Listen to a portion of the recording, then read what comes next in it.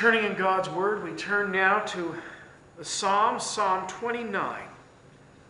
Let us approach God's Word first in prayer. Lord, open our hearts and minds to the truth of your Word. That as it is a revelation for us, as we speak it, as we live it, we might offer the light of that revelation unto all life that we touch. That we may in all things glorify you and you alone in Christ, we pray. Amen.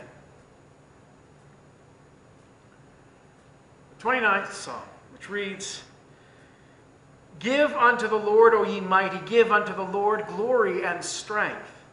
Give unto the Lord the glory due unto his name. Worship the Lord in the beauty of holiness. The voice of the Lord is upon the waters, the glory, the God of glory thundereth. The Lord is upon many waters.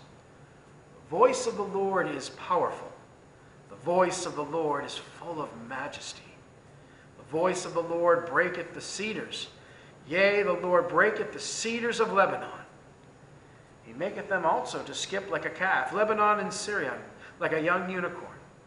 The voice of the Lord divideth the flames of fire. The voice of the Lord shaketh the wilderness. The Lord shaketh the wilderness of Kadesh voice of the Lord maketh the hinds to cave, to cough, and discovereth the forests, and in his temple doth every one speak of his glory.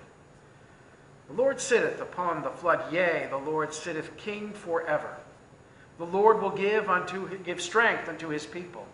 The Lord will bless his people with peace.